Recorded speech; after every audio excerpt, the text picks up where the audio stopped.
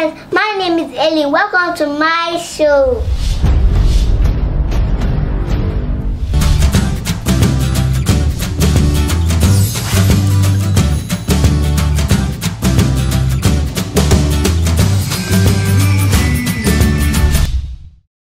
God is creator of all things, the heaven and the earth, all animals and mankind. Man. God placed man in charge of the earth over every living thing that lives on the earth.